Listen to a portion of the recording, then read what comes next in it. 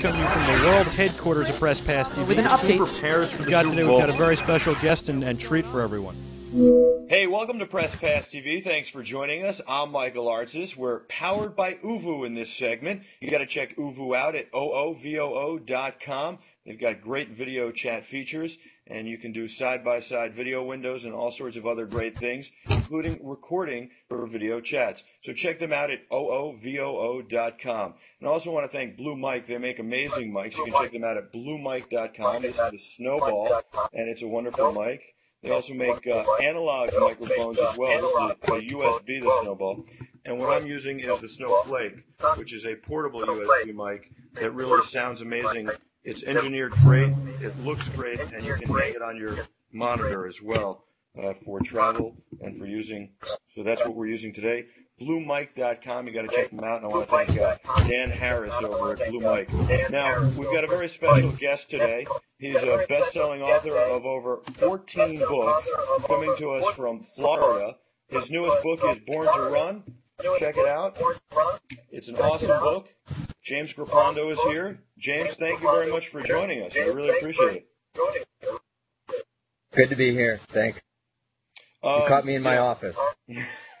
now your office is, is what you were telling me just a minute ago is this is where you write your books this looks like a beautiful setting this is your, your backyard i guess and you said that you play some it. music and, and write your books that's pretty amazing I, I don't know is that is that something that most most guys can do you think Actually, not. You know. I, I you know most of my books are set in Florida because where I live, and this is November through April is really the nice time to be here. So I've got my hot tub over here, got the pool in the back, got the hammock over there, my cell phone optional, and my laptop, and this is where I write. So I've done about been here. I've lived here since 1977, so I've done about 11 books here. 11 of my 15 books right here. now this book born to run is, is really amazing uh, it was a great book a vice president of the united states winds up uh, dying and what happens is the best friend of the vice president, who was on the on the, this this hunting trip in the Everglades with the vice president, winds up being nominated to be the new vice president. All sorts of things unfold, and there's uh, uh, reporters getting killed, and um, you know investigations that goes all the way back to the White House. And how do you come up with the plot for this book? This was a this is a little different from what I normally write. You know, the Jack Swyteck series is um, very strongly set in Florida. Um, it's a he's a Miami criminal defense lawyer who uh, got his start in a book called The Pardon, where we first met his father. And Jack was the criminal defense lawyer who defends death row inmates, and his father was the law and order governor of Florida, who had signed more death warrants than any governor in Florida history.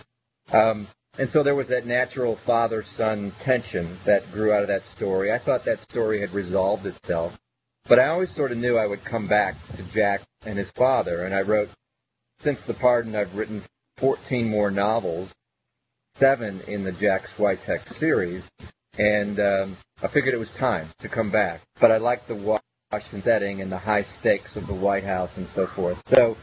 Uh, Jack's father, being a former two-term, term, two-term governor of Florida, I thought, well, that's a possibility. I, you know, I'm I'm a writer, so what I really, um, I'm just looking for exciting stories. You know, and every, you know, I like to make people think about things when I'm writing them. Like, you know, in Born to Run, it's really the, I guess, the underlying question: Do we really know the people we elect? You know, what secrets do they have? And it always seems some secrets are coming out. When you're trying to come up, you ask, how do I come up with ideas? And there's always some little spark. But then as a thriller writer, you just sort of take it to the most dramatic extreme you can think of.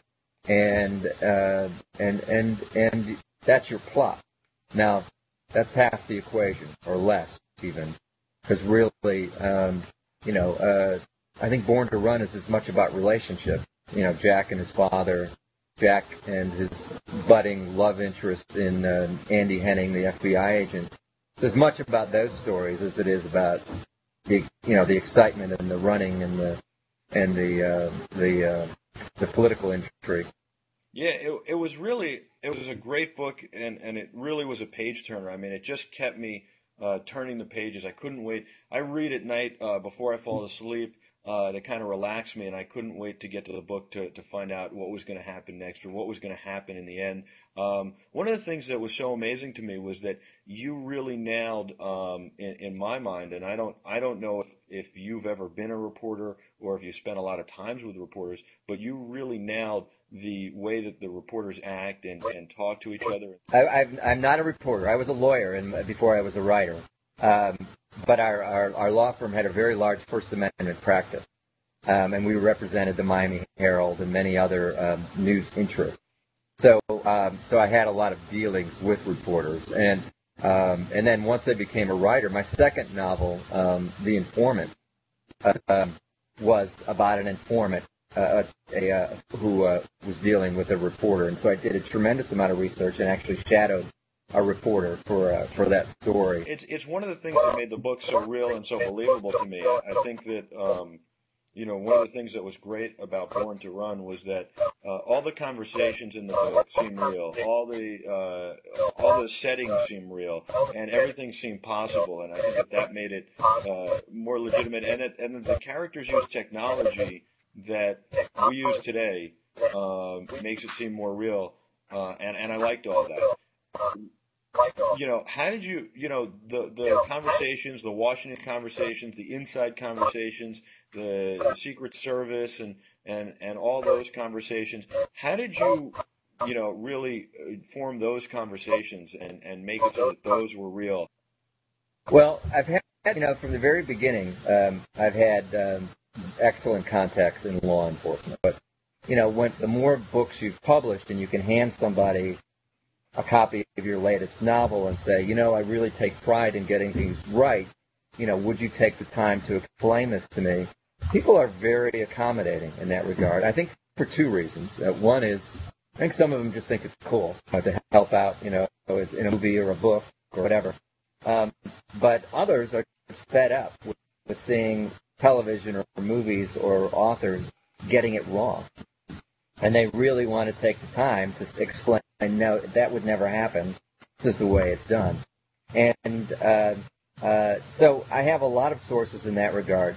Uh, but getting the voice right, you know, hearing, you know, how they talk, you just got to, you know, hang out as much with as much law enforcement as you can. I guess, you know, I, I go for rides, you know, with the local police just to see what they how they work. I, my brother-in-law is a cop, you know, so um, you exploit every opportunity you get just to hear um, hear how it's done, and got to hear people talking in a real life setting in order to pick up the voices for the dialogue. And you know, um, that's one thing I think.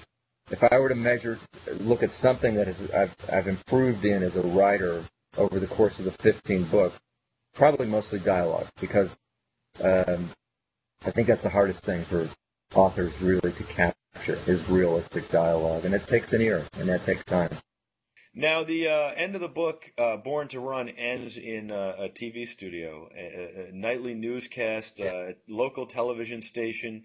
Where did you come up with that concept? It's something. It's funny because it's something that I've thought about for years. That um, you know, basically, I don't want to spoil the book, but but I'll say that I always thought that um, if somebody wanted attention, like a uh, terrorist or somebody who takes hostages, a television station would be the best place to go, and I've never heard of anybody doing it before.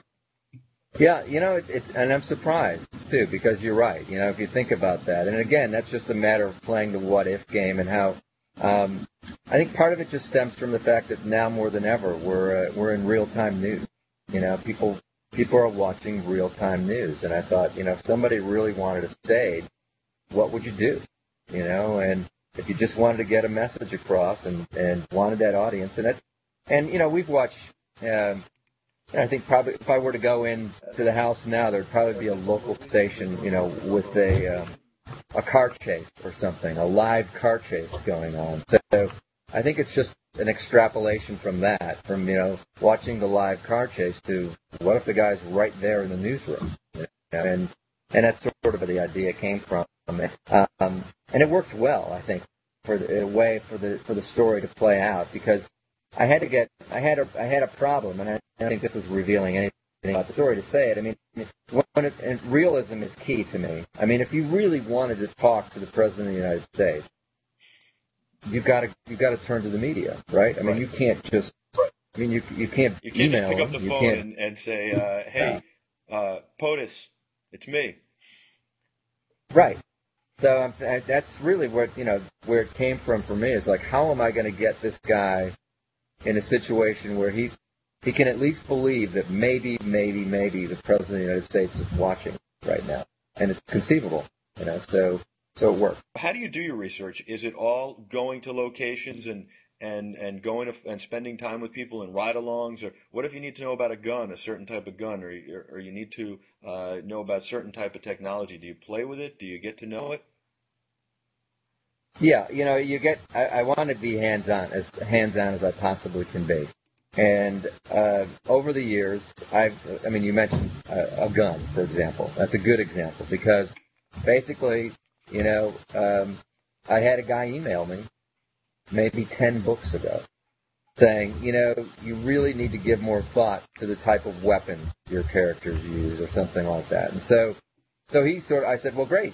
You know, I'd really love someone I could turn to for that. So now he's my gun guy, you know, and, um, you know, or, uh, it, it may be, you know, um, a matter of, uh, uh, I've got my FBI guy. I've got my, my wife who can tell me what, you know, a woman would be wearing in a situation or whatever, you know.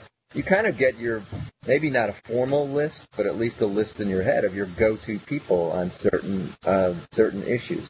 Now, there's always something new that comes up. Now, who do you like to read? Uh, who are your favorite authors, and, and what kind of books do you like to read? Yeah.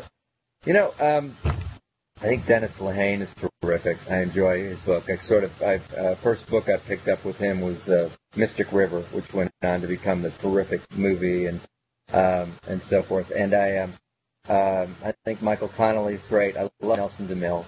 Um, I, I read a wide range of uh, of books, um, and honestly, now with two children who are uh, uh, uh, my daughter's 12 and my son is 10.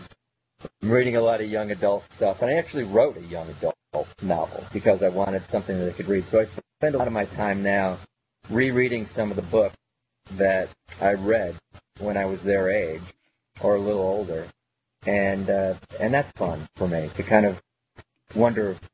It's a way of rediscovering yourself. I'd recommend it to anybody. You know, go back and read some of those books that, like my daughter's book called The Pigman. I remember reading that book when I was probably in ninth grade or eighth grade, and thought it was, and it was one of those books where I thought I couldn't, I refused to believe it was fiction because it felt so real to me, and, and it's fun. I really recommend to people. You know, pick out one of the books that really to you as a as a kid, and go back and read it, and you'll you'll really learn about a lot about yourself as to where you were, what you were thinking, and why did that book impact me the way it impacted me? That's it's really a fun process. Um, what's what's next for Jack? Um, can we get a, a tidbit? Is is there? Are you working on another book, of uh, another one of his novels, or is are you moving on? Uh, well, there will be another Jack Swyteck novel, but it won't be the next book. The next book is called Intent to Kill. It's already written. Uh, it'll be out in uh, in April of 2009. That's a standalone thriller, which I did some great. Re- we talked about research. I'd love to talk to you about that again. But it's about a about a, a minor league baseball player who plays for the Pawtucket Red Sox, who is um, his life is going perfect until he's just about to make it to the majors, and uh, his wife dies in this tragic accident, which, as it turns out, may not have been an accident. So, and that's the story takes off from there. Enough said, but that was great research. My son and I going to minor league baseball games, going to Fenway. Um, you know, so anytime you research involves hard watching research. baseball, and drinking beer. Yeah, that was great fun. Great fun. So that book um, is uh, is out in April, and um, and now I'm I'm writing another standalone, which will come out probably early 2010. So it'll be a little while for the Jack Swyteck novel, but um, but I just signed a two book deal with HarperCollins again, so so that one of those will definitely be a Swyteck novel. Well, excellent. I'm looking forward to uh, the baseball uh, mystery book and uh, and the book that you're writing now. Uh, I know you're hard at work on that, and I always think it's funny that as we talk about the book Born to Run right here, your next book is is already done, and you're already well into writing the next one after that. Um, but April 2009, I look forward to that. Born to Run, December of 2008. Check it out. Awesome book. And uh, you got to check out the other books uh, by James as well. Last Call, Lying with Strangers, When Darkness Falls, just among the uh, 14 other books he's written, 15 total so far. I guess 16 with the one that's done that's waiting in the wings. And I look forward to seeing that uh, before April and talking to you again about the research for that. You were uh, an amazing guest, and I really appreciate it. Uh, I had a lot of fun getting to know you and uh, getting to read this book, Born to Run. Check it out on book stands, December 2008. It's a book that you can't miss. A lot of fun. James, thank you so much. I really appreciate your time. My pleasure. Thanks a lot. All right. Well, I'm Michael Artsis for everyone at Press Pass TV. I want to thank Blue Mic. Check out the Snowball and Snowflake at bluemic.com and Oovoo, who powered this. It's O-O-V-O-O.com. For everyone at Press Pass TV, I'm Michael Artsis. Be terrific.